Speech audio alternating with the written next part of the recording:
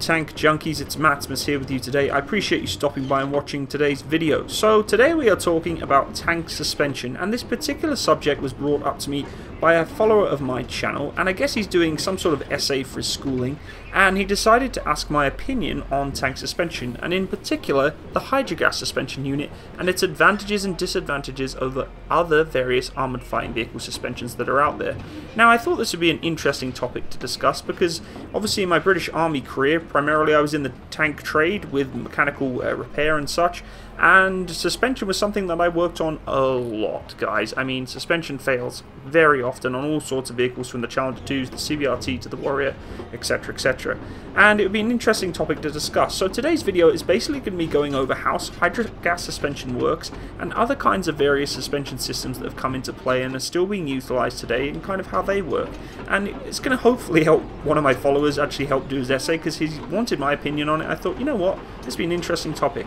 Now, what you're looking at right now, and you're probably wondering, Matsimus, what the hell are we looking at a Mark IV tank for? Well, guys, this is the Mark IV, beautiful Mark IV tank of the First World War, and it is driving through the streets of London, and this is just absolutely beautiful. It brings a tear to my eye seeing this beautiful beast roll through the streets of, uh, you know, my capital of my home country. But uh, I just thought I'd put this in there because it really does annotate the fact of how primitive suspension was back in those days. And when I mean primitive, I mean non-existent.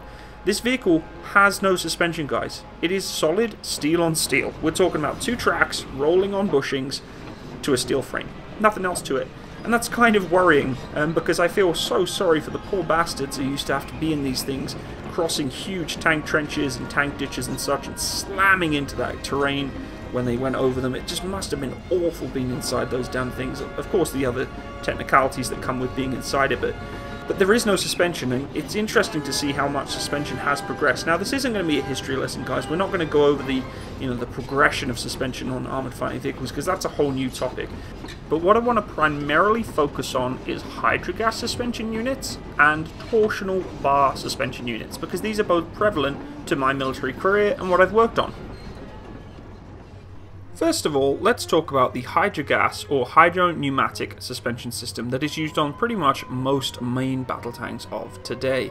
In this particular instance for the Challenger 2, it is the hydrogas suspension system. As you can see, it's working beautifully here right now, keeping that tank nice and stabilized. First of all, let's talk about the pros of the hydrogas suspension system. Now, each variant of tank out in the round the world have their own variants and their own designs of different types of hydropneumatic suspension system. For the Challenger 2, the Hydrogas I would say is absolutely fantastic, being able to keep this vehicle going off terrain very, very well. So let's talk about some pros then. Well, obviously the Challenger 2 is there to kill other tanks, it's its primary focus, and to be able to create a nice stable platform for that gun to fire on is what that suspension is really trying to do. And the gyros can only do so much. If this vehicle was given poor suspension, the gun would not be tracking us as beautifully as it is right now. So all six stations of this vehicle are utilizing the hydropneumatic or hydrogas suspension system, and they are all tuned to different gas settings. Now first of all, let's talk a little bit about the hydrogas suspension system and how it works before we go ahead and talk about some more pros of this system.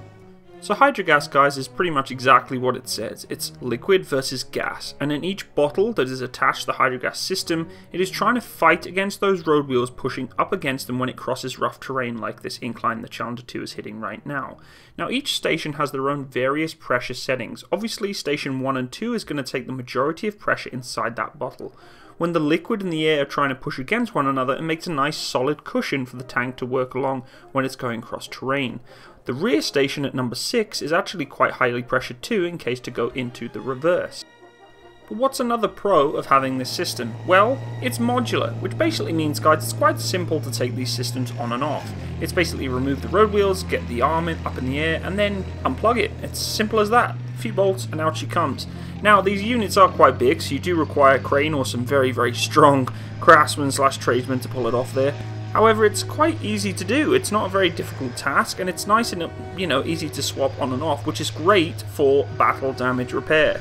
Battle damage repair, guys, basically means if the vehicle is hit, it can easily be repaired and moved back onto the battlefield if needed. It also means that if the vehicle is hit, it can basically continue operating without having to worry about it being immobile. And for me, the final pro, guys, is ride comfort. We're talking about a crew here, guys, and basically human beings like being comfortable. Yes, we're in the military and we're supposed to be able to, you know, deal with all the tough hardships of being in combat and such. But when you're rolling along in a vehicle like this, especially with tracks and, you know, heavy weighted vehicles, it's nice to have a platform that is stable and comfortable to drive in. I must admit, being inside these vehicles, they do drive and ride very, very smoothly with these systems in place, and it's just really nice to have that suspension being able to give you a nice, smooth, comfortable ride. So, let's talk about some disadvantages of a hydropneumatic or hydrogas suspension system. Now, I do know in my previous military career, I've had ups and downs with these systems. Most of the time, I'd say probably about 90% of the time, these systems work flawlessly. The hydrogases are so good at keeping these tanks going that we very rarely change them out. Majority of the time when they did get changed, it was because the seals inside them would fail. That's purely because they're not being driven correctly. New drivers would jump into these vehicles and think they are invincible. They know the reliability and the effectiveness of these suspension systems, and they think they can traverse any terrain at any speed. It's just clearly not the case, guys, and unfortunately, that's normally how these systems fail. Drivers are not trained correctly or are not utilizing the skills they've been taught to take these vehicles across terrain safely without damaging components. And that is pretty much the number one con I find with these systems is overconfidence. Yes, they work very, very well, but you have to know your limits, and unfortunately, drivers just get overconfident with them and aren't trained correctly. With other systems like torsional bar, you tend to realize when something's gone wrong when you hear a very large thud and then you know a torsional bar snapped. With a hydrogas suspension system, you don't know until you park up and all of a sudden you notice your vehicle is sagging to one side. Now, normally one or two suspension systems will fail for hydrogas at a time. One station and two station are normally the ones that fail primarily because they are the ones taking most of the brunt. So there's our first con. The second con is, well, what happens when we have to replace these systems? Well, it's quite simple to do if you have a good crew. Unfortunately, though, it's not as simple as just taking the bolts off and removing this, you know, this system. Like most suspension systems, you need to either split the track, you may need to uh, remove certain components to get access to it, whether it would be bar armor or side skirt armor and such, and it takes time. And the more time that the tank is off the training area or off the battlefield, it's going to take time off, you know, to the commander's intent. With the hydrogas suspension system, as I said before, it's modular, but it does require a few extra things to be able to get it back on the road. With hydrogas, you require nitrogen, or basically gas to be placed into the system to create that gas and liquid suspension property. Now, that is inherently kind of annoying if you're a repair crew because you need to bring gas bottles with you or have them in stores to be able to charge these systems. That, my friends, gets very, very annoying, having to cart around gigantic battleship grade gas bottles in the back of your vehicle, or having to go and knock on the storeman's truck to go and find one. It's really, really annoying and very, very impractical to be carrying gas bottles around with you if you're in a first line repair unit.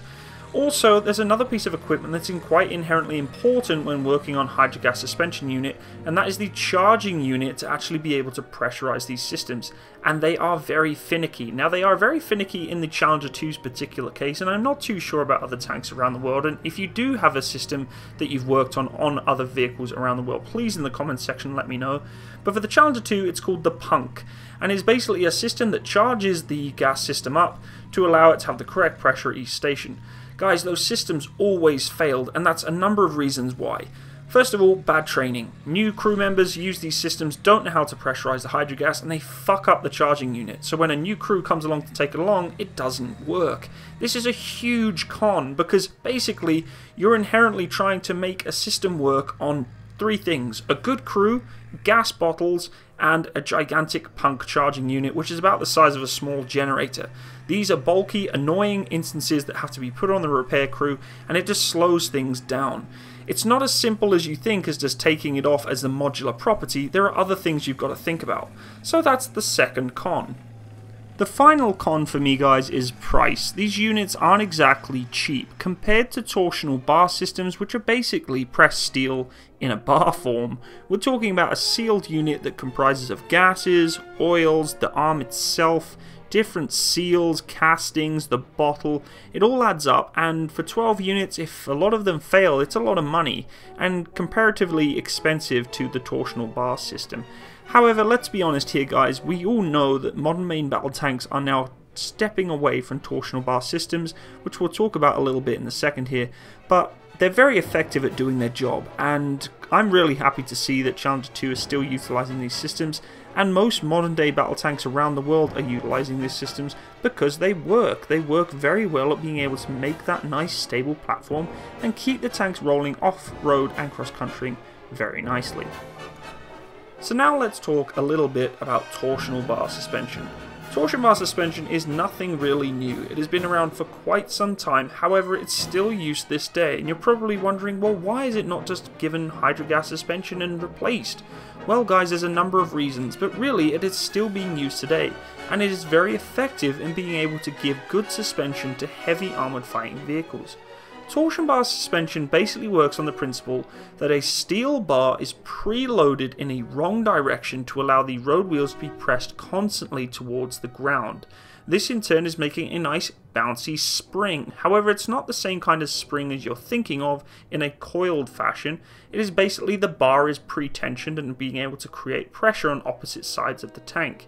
One end of the torsion bar is located attached to the hull, and the other is attached to the road wheel arm, which is can create that suspension system. Very, very simple, guys. Nothing really too special about it. Which brings me on to my first pro, guys. It is cheap and it is simple. They are two key attributes that would be nice to have when producing these kind of tanks. Something that is simple to replace, simple to produce, and fairly cheap. A pro also for these kind of systems is they are quite reliable. I must admit guys, if you know how to drive these vehicles correctly, torsional bars will not fail on you. It's normally when a driver or a crew has not paid attention to how the vehicle handles and the terrain it goes across, once again creating too much strain for these kinds of systems and shearing them. Another pro for this system, it is basically a very simple change to do on the vehicle. If you need to check the suspension, it is a crowbar shoved under the road wheels and lifted up. Now this is a good benefit over hydrogas suspension because with hydrogas you may still have a leak on the bottle and there may be limited pressure in that station but you won't get that you know, lift of the road wheel to say that it's failed because there's still enough pressure to push back.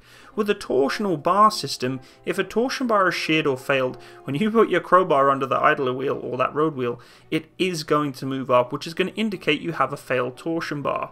Normally you'll also see your vehicle sag, but that's just something you've got to pay attention for. That's a really nice feature to have because it's instant diagnosis. I don't need to go and get the punk, I don't need to go and get a pressure gauge to stick it onto the system. I can literally tell my driver or another one of my crew members, hey boys, get the crowbar, stick it under that road wheel, give it a couple of up and down and if it moves, we're going to have to change the torsion bar. Really nice and simple to do. However, torsional bar does have its disadvantages too. Torsional bar is once again very reliant on the driver's skill. If you don't know how to utilize your vehicle correctly with this kind of suspension system, you will snap the torsion bars and create quite the problem for your crew and the repair crew coming to fix it.